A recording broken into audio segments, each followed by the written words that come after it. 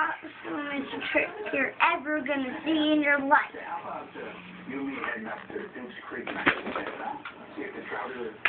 Yo! And that's it.